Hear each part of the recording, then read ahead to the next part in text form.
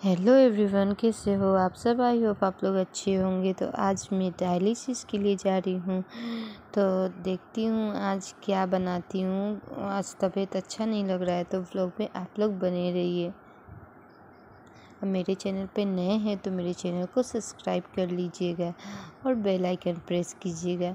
तो मैं तो अपना डेली लाइफ शेयर करती हूँ तो मैं अपना डेली लाइफ आप लोग से शेयर कर रही हूँ। तो आज जाना है डायलिसिस तो डायलिसिस जाने के पहले मैं बनाने जा रही हूँ हलवा।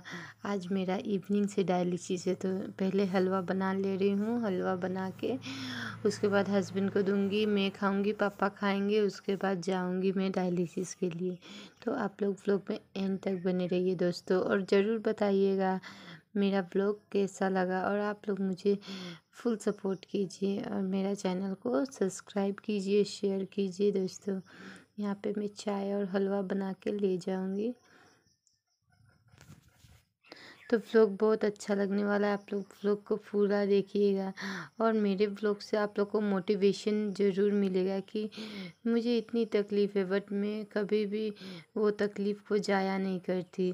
बस मैं अपने भगवान को बोलती हूँ, भगवान, आपने मुझे जैसी जीवन दी है, मैं उसी को खुशी से जी रही हूँ। बस आप मुझे शक्ति देना कि मैं अपने इस बीमारी से लड़ सकूँ। बस इतना ही बोलती हूँ। यहाँ हलवा बन गया और चाय बन गया। अब लेके मैं जा रही हूँ अपने हस्बैंड के पास देने के लिए।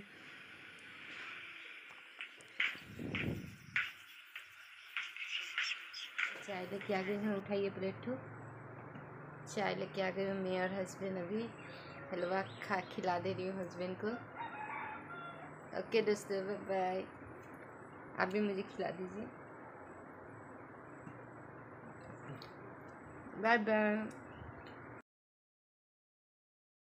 डायलिसिस के लिए जा रही हूँ मैं, गाड़ी में बैठ गई हूँ, मैं डायलिसिस के लिए जा रही हूँ। तो देखते हैं क्या क्या होता है रास्ते में।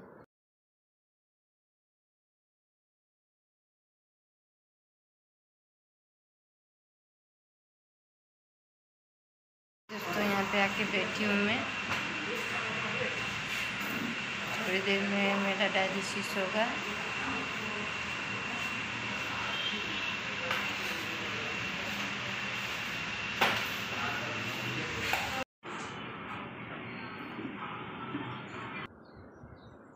यहाँ पे मैं खाना खा ले रही हूँ। जब दो घंटा पार हो जाता है ना तो ज़्यादा वीकनेस आने लगती है तो कुछ खाने के लिए बोलते हैं वहाँ पे।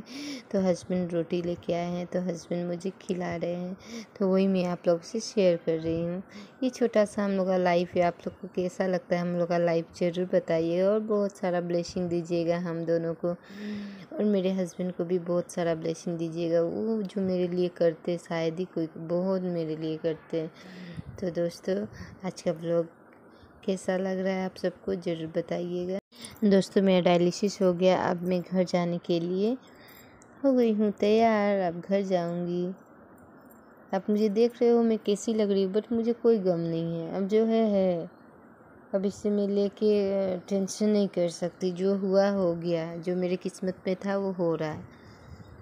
तो अब मैं घर जाऊँगी। तो आप लोग चलिए मेरे साथ घर। डायलिसिस होने के बाद बोलने का हिम्मत ही नहीं बचता है। बस मुँह मेरा देखिए ना कैसी लग रही हूँ। जाती हूँ कितना फुर्ती में और जब हो जाता है ना डायलिसिस से पूरा वीकनेस आ जाता है तो मेरा फेस देख सकते हो ना आप लोग? कैसी लग रही हूँ? पगली की जैसी। तो लोग में बने रहिए दोस्तों।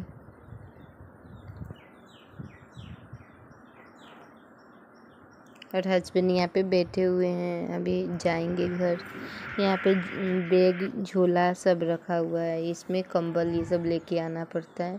दोस्तों, मैं जा रही हूँ घर। तो मेरे साथ सफ़र में बने रहिए आप लोग। और आप लोग प्रे कीजिए कि मैं जल्दी स्वस्थ हो जाऊँ।